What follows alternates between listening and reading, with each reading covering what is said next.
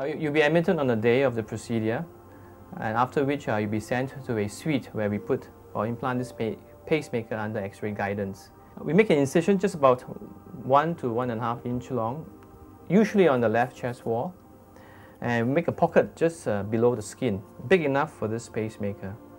From this incision, we puncture one of the big veins and put in wires or leads into the cardiac chamber.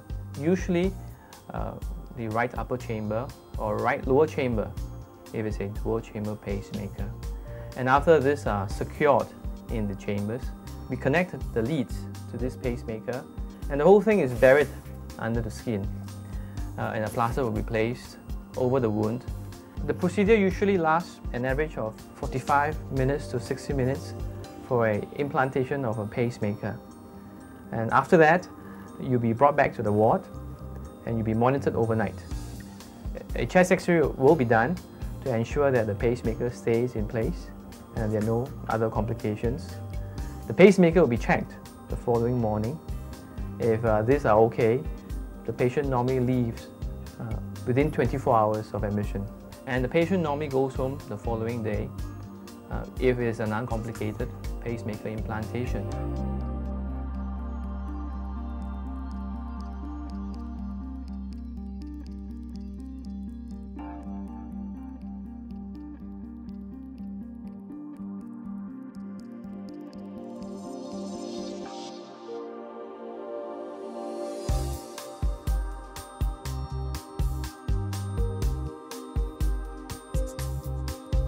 After a pacemaker is implanted, we normally advise patients not to move their arm, the affected arm, excessively for two weeks.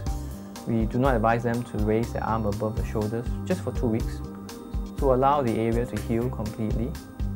Um, we do not recommend the patients to undergo MRI and that may affect the function of the pacemaker during the MRI scan.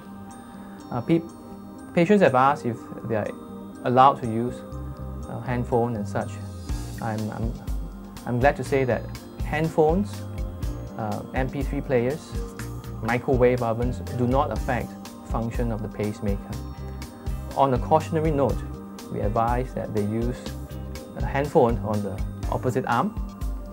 And they put MP3 devices 6 inches away from the pacemaker. Um, they are also reminded not to walk under the, uh, the, the gantries at the airports or in airport security.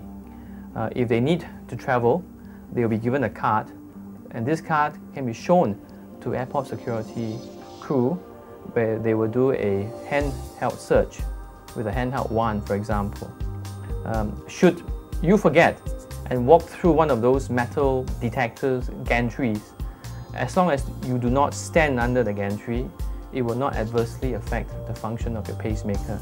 If you just walk through it quickly, uh, apart from an alarm uh, due to uh, sound, sound by the metal detector, it should not affect your pacemaker.